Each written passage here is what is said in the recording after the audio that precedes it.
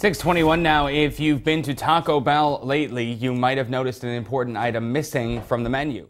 You think you're biting into a cheesy, craveable taco. But what if I told you that your Taco Bell order is more science project than fast food? What if I told you that your nacho cheese has more in common with a chemistry lab than a dairy farm? That your seasoned beef was seasoned more with marketing than actual meat?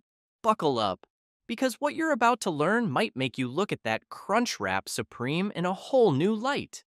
Welcome to Frugal Pro, and today we're going behind the tortilla to uncover what Taco Bell really serves. From microwaved mystery meat and fake grill marks to cheese made with wood pulp and a side of bacteria, this is the video Taco Bell hopes you never watch. Let's start with the so-called beef. Taco Bell proudly claims that its seasoned beef is 100% USDA premium. But here's the twist that 100% beef only makes up 88% of the product. The rest? It's a Frankenstein mix of lab ingredients you didn't ask for and probably can't pronounce. We're talking maltodextrin, soy lecithin, modified cornstarch, and something called torula yeast. Each of these additives has a job emulsify, bind, flavor, but none of them belong in your definition of beef. Maltodextrin is basically corn that's been processed within an inch of its life.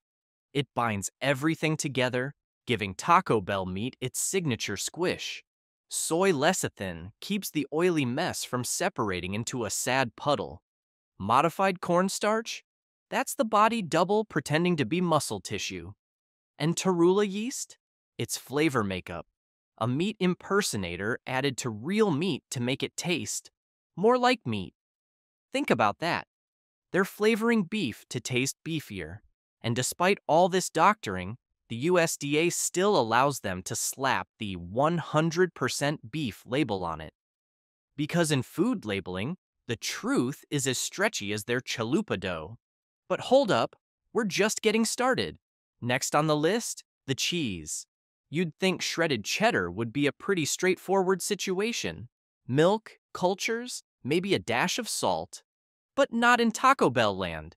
Here, the cheese is as engineered as a space shuttle. Take that neon orange nacho cheese sauce. It contains not just milk, but a cocktail of preservatives, emulsifiers, thickeners, and stabilizers. Sorbic acid keeps it from growing mold in storage. Sodium citrate gives it that silky texture, so it stays liquid long after it should have been solid. Modified food starch helps it survive multiple temperature changes like it's training for a triathlon. And cellulose? That's a plant fiber used to prevent clumping. Fun fact, it often comes from wood pulp. Yes, your cheese has sawdust. And let's not forget about the color. That glowing orange hue? Not natural. It's artificially enhanced to scream cheese, even when your taste buds should be whispering run. Taco Bell's three cheese blends also get the same treatment. Part dairy, part lab experiment. The goal? Make it look and taste like cheese while cutting costs and extending shelf life. If your cheese can outlive your goldfish, that's not food, that's survival gear. And don't even get me started on how it's all prepared. Spoiler, Almost nothing is cooked fresh in store. Taco Bell kitchens are more like food assembly lines. The beef? Boiled in plastic bags. The beans? Dehydrated flakes stirred into hot water like instant mashed potatoes. Even the rice is pre cooked and shipped in, only to be reheated on site. Employees aren't chefs, they're bag dunkers. Food comes in sealed pouches, gets tossed in boiling water and squirted onto your burrito. Grill marks on the chicken? Fake. Applied at the factory like temporary tattoos. Your food is cooked, cooled, vacuum sealed, shipped, stored, reheated, and then finally wrapped in a tortilla and served with a smile. And this industrialized reheating process doesn't just kill freshness, it opens the door to contamination. When ingredients are cooked, cooled, shipped, and reheated across multiple stages, the margin for error skyrockets. If the temperature drops just a few degrees during storage or transit, bacteria like Salmonella, Listeria, and E. coli get their invitation to the party. That Crunchwrap Supreme you love? It may have taken a detour through the danger zone. And it's not just speculation. Health inspection reports from Taco Bell locations across the country read like a horror novel. Improper food storage? Check. Cross contamination between raw and cooked items? Regularly flagged. Mold in ice machines? More common than you'd think. In one incident, inspectors found raw chicken stored above lettuce. A cross contamination nightmare that turns your healthy topping into a biohazard. Rodent activity? You bet. Several locations have been cited for mouse droppings in food prep areas, with some even documenting live rodents scurrying near the fryers. Imagine grabbing a late night chalupa while a rat holds a board meeting behind the counter. And let's talk about employee hygiene. Glove usage violations and failure to wash hands between tasks are shockingly routine. Fast turnover and lack of training mean that many workers barely get a crash course in food safety before they're wrist deep in nacho cheese. Night shifts, especially, run on skeleton crews, often with minimal supervision, which means that the food you order at 11 p.m. might be prepped in conditions that would make Gordon Ramsay pass out. Even when protocols are in place, equipment malfunctions take hygiene down fast. Broken coolers, malfunctioning thermometers, and faulty heating trays all add up to food that's not held at safe temperatures. In the world of fast food, a few degrees can mean the difference between a quick bite and a gastrointestinal apocalypse. But sanitation is only half the story. What about the nutritional value, or lack thereof? Taco Bell's menu is a masterclass in salt, fat, and sugar synergy. One Crunchwrap Supreme packs 1,200 milligrams of sodium. That's over half your recommended daily limit in one item. A combo meal? You could be pushing 2,000. And that's before you even consider those Diablo sauce packets that taste like regret and salt water. Taco Bell's cheesy menu staples are also fat bombs in disguise. Nachos BellGrande, nearly 40 grams of fat. The quesarito, a cholesterol laced wrap of doom. Trans fats, saturated fats, hydrogenated oils, all those culinary culprits you've been told to avoid since health class? Yeah, they're hiding in the melted goodness you crave. And if you think the beans will save you, think again.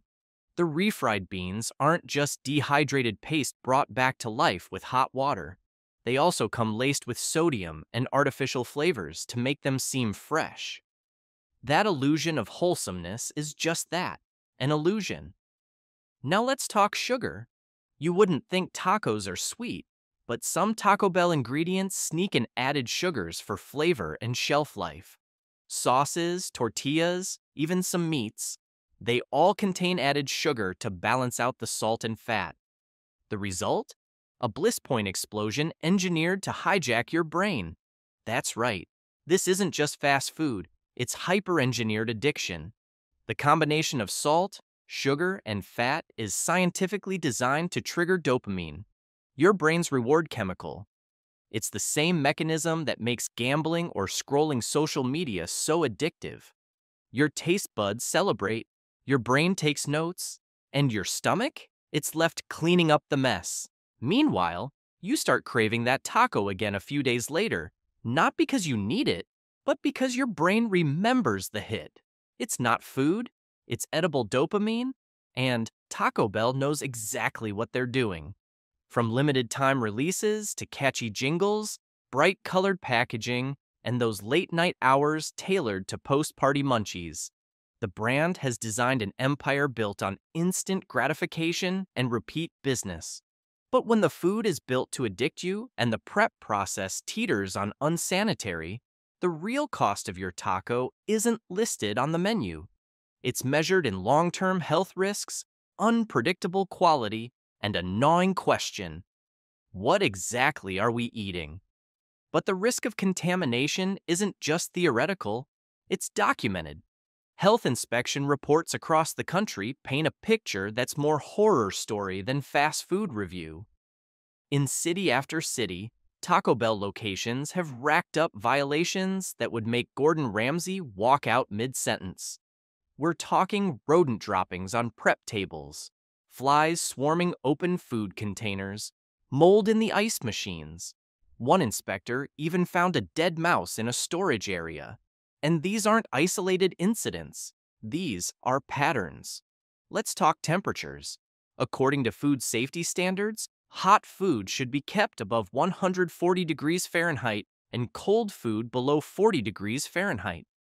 But Taco Bell has been caught multiple times letting beef sit in the danger zone, that bacteria playground between 40 and 140. At those temps, dangerous bugs like E. coli and Salmonella multiply faster than you can say, crunchy taco. Then there's the cross contamination problem. Workers using the same gloves to handle raw chicken and then prep your burrito. Unwashed utensils used on multiple ingredients. Food stored directly on the floor next to cleaning chemicals. If Taco Bell ever ran a food safety seminar, it would double as a biohazard training course. Let's not forget hand washing, or the lack thereof. Health reports show employees skipping the sink entirely, or using it without soap.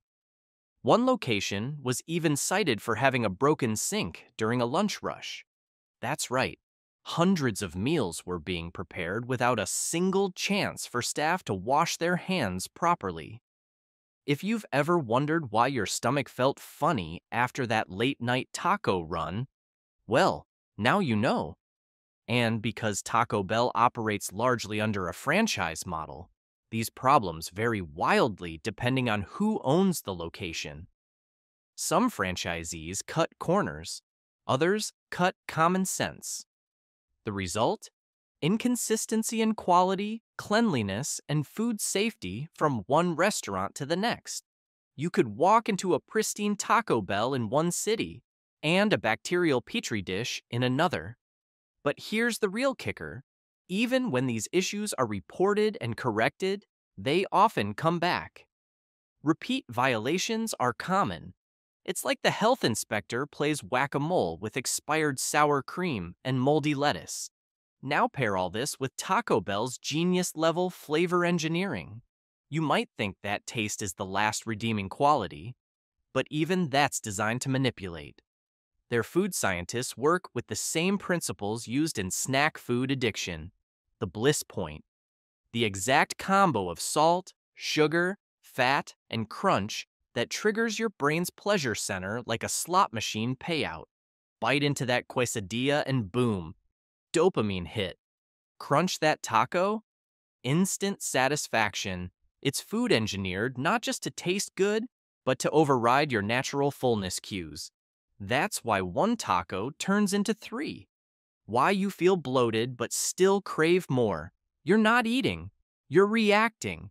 And let's be honest, it works.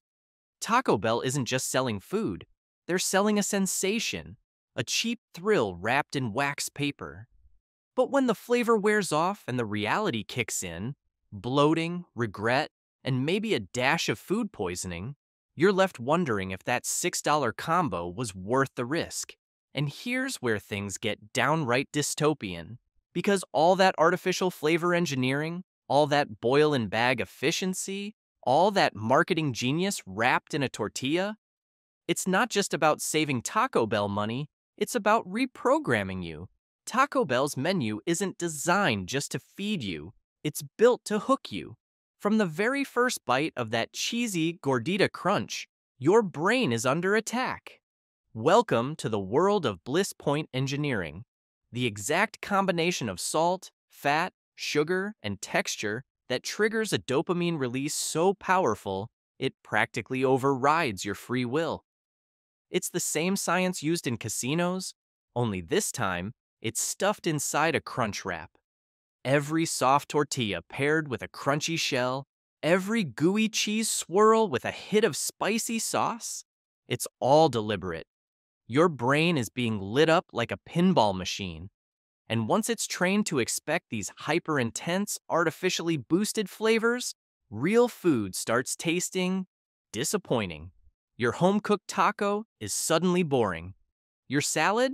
Forget it. You're chasing that bliss hit like it's fast food fentanyl.